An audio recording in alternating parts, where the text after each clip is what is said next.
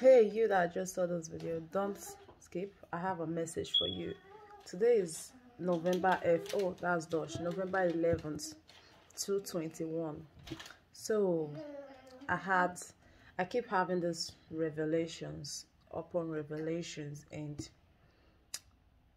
sometimes it's not like i really don't want to talk about these things that i see but i just feel like who will listen the people still listening like why be say na wetin no wan carry una go heaven na una wan dey do now. But as a messenger of god as a child of god it's not for people to you don't have to have that heart of if people will listen to you or not. Just do what you have to do and let those who have ear let them hear. And those who don't but just know that you have you know sent out the message that god wants you to send out there so i'll be having this revelation about the world ending fights sorrows cry everybody on their own mothers kids on their own and i know Paul will say, oh, typical. Yeah, everybody say that every year and the world is still not ending. Sometimes the world and the revelations like this does not mean the world is ending. It means that God is not happy with how the world is going. It means that God wants people like me to speak to you that is not happy with the way people are suffering is not happy with the way the world is going. This is not the plan of God for us as humans. So if someone says they are having a dream, is wanting to be a child of God, is another thing to be able to interpret the message that God has sent you to say out to people.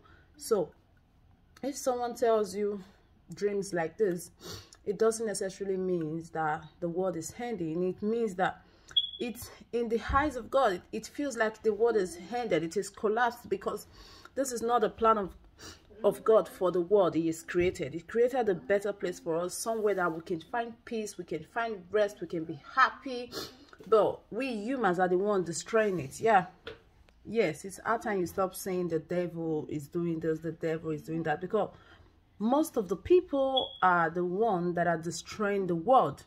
The devil now lives amongst humans and the devil is in your heart. The god you know is in your heart you know. The wickedness you are showing to a fellow human like you the backstabbing you're stabbing a fellow human like you you stabbing you backstabbing your own flesh and blood. Because it doesn't matter the color of our skin we all were created by god. And this is why i it doesn't sit well with me anymore when somebody say uh, someone is racist because I feel like there are bad people everywhere. There are bad people home. There are bad. Your own brother can be bad to you. Your own sister can be bad to you. You're like, I just the way I said this word. There is bad people everywhere. There is a bad African person. There is a bad European person. There is a bad Caucasian person. There is a bad Asian person. There is a bad Chinese person. Like, it's just how I see it, and one person being bad does not, you know, it does not create an image for a whole group. It doesn't make me see the whole group like, oh, this person is bad. If you're bad, I see that you're bad to me, not because I don't see your tribe, that your tribe is bad. I don't see the, your country, that your country is bad. I don't see your color, that your color is bad. The way you treat me is how I, I feel like I, I see it as you not i don't take it directly to other people. I don't say this particular people are bad this particular people are good. Like i just say that you you are you. And going back to my message the world is falling apart because of you and i. We have a hand in what is going on in the world like we have a play in it. This is not what god has created and this is why god keep revealing it each and every day to people like us to say to you that this is not what he wants. And the worst part is, no one cares to listen anymore. No one cares to listen to what God wants anymore. The funny thing is, people feel like what God wants is for God. To see how selfish people can be, how, you know, self-judged they can be, they can, they feel like what God wants God is sitting pretty amazingly in heaven and whatever that's going on on earth cannot hurt God. But it hurts him because God is hurt. He said, I am you, you are me. Like I created you of my own image. You are the apple of God's eyes, and this is the reason why when you are hot, God is hot.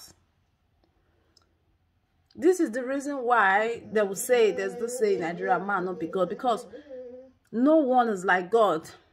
God does not have the heart that you have. God does not think about things the way you think about them. God does not see things the way you see them. Even God that has created us is giving us the right to do whatever. And there is nobody that will give you the right that God is giving you except God himself. Sometimes I, I sit and I still wonder why people prefer to, to be evil, why people prefer to go the wrong direction when they know the right direction to face in life. It baffles me. It surprises me. Things like this. And sometimes I will be like, how is God feeling with all of the heartbreak that we are giving to God? With all of that God is expected from us. And we still keep doing more harm to ourselves. And how does God feel about this? Do you, do you sometimes sit and think, like how does god feel those things that you're doing does it sit right with god not just with you does it sit right with him and many people having this mentality that you being good is because you want to follow God. It doesn't favor God. It favors you. You are good for you. You are evil for you. So those commandments that God has laid down, God has put them down for, for us, not for him.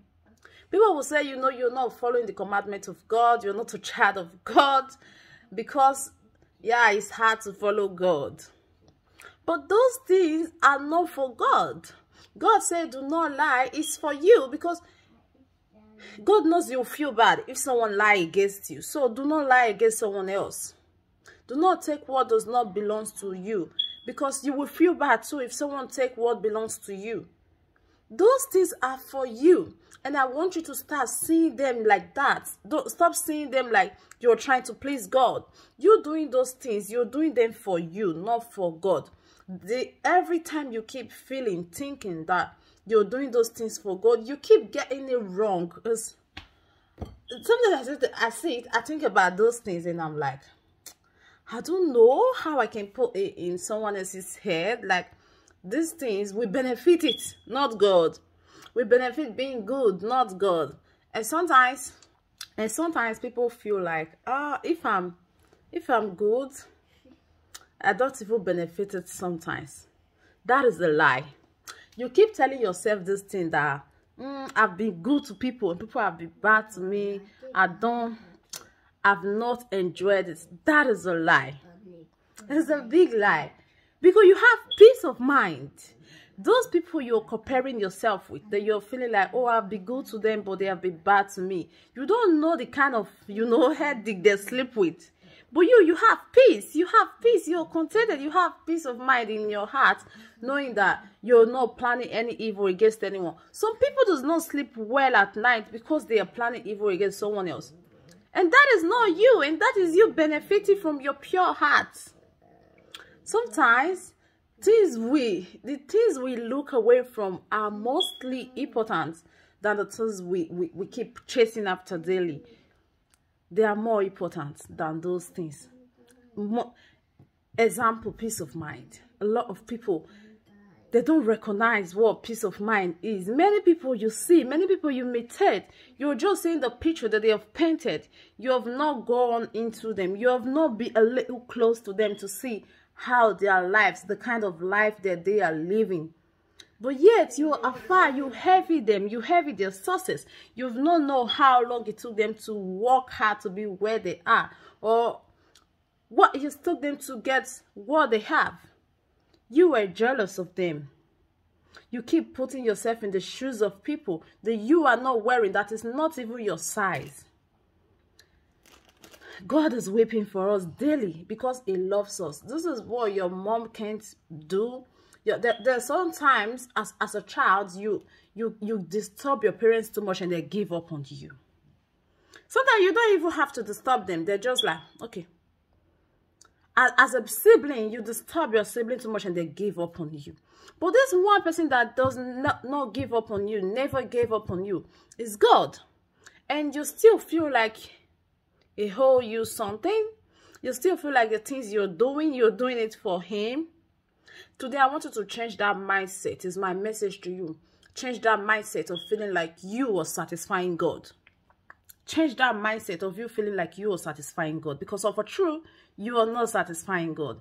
Everything you do you do it for you. And god is happy is pleased because he wants you to be good it's not for himself. God is amazing. God is perfect. It's not for himself. He wants you to be good. So he's pleased when you do something good. So change that mindset of you doing those. I bet I don't want to do God things again. I don't want to be doing the things of the Lord. It doesn't favor. It favors you. Look at it.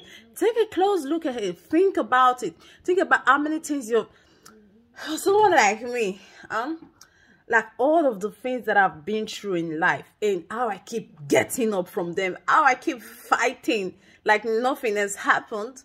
It's one of the things that has made me remind me constantly that God loves me perfectly. God loves me like crazily. God has this, you know, on undying love for me. Because I see some people don't go through half of what I've been through and they complain so much. And me that have been through a million times more than what people have been through, I still don't complain. I'm still glowing. I'm still dripping in glory. And it, it, it, it makes me happy. It makes me like, yes, God did for me. Like God is with me. Because I know how many times a pit has been dug for me. But keep getting out of it somehow. Anyhow, I'm out of it already. And and it's beautiful to it's it's it's amazing to know that God loves you. It's it's perfect to it's it's something you cannot compare. So stop thinking that every little thing you're doing, you're doing it for God or you're doing it for someone else. Because the truth is you're doing it for you whatever you do you're doing it for you. That's why whatever you cannot do step out of it. Whatever that has not given you peace step out of it. Any person that is making you feel not you step out of it.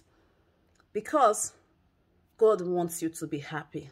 Because whatever that is happening in this world we are the one creating it not even the devil like we are the one that keep inviting the the devil. You keep inviting the devil. You keep telling the you keep you allow the devil to use you. That is the word for it. You allow him. You give him the space, the time to use you. The time that you have in planning evil against your fellow brethren, your fellow sister, your fellow brother. Everyone on this earth is your brother and your sister look after them. Just not because you want to look after them but because you want someone else to look after you too. Because you you if you if if you if you've been in these shoes before you you want someone to be there for you. So be there for someone. Share. Love. The world is, is is getting crazy. Don't you see with with all of the millions that people have billions trillions there is still hunger in the world. Don't that baffles you? Don't you sit and think about it? It's not feeling entitled because you should never be entitled. A, a child of God should never be entitled to what you never worked for because the Bible says man should go to work in the morning and expect to harvest in the evening. So you should never be entitled. But I'm just saying this like, don't you see the amount of money some people have? It can fill the whole world. Yet, there is still hunger in the world. People are still suffering in the world. That's because of greed. That's because we don't love ourselves enough. God has tried to make this world beautiful, but we keep destroying it by allowing someone else to go hungry when you have multitude of food to share. By allowing someone else to go without a piece of bread when you have lots of bread spoiling in the back of your house that you're not eating. My message today is, it's November F 11. I keep saying F. With just a month and this year is over. Be good. Change your ways. Be of God. And nobody can really take you to the devil except you. No one can really lead you to sin except you. Lead yourself right. The road that God has, you know, opened for you, follow it. And you can only follow it when you are for God. Have a blessed week. Have a blessed day. Think about those things that I've said. Let us seek Him. Stay blessed.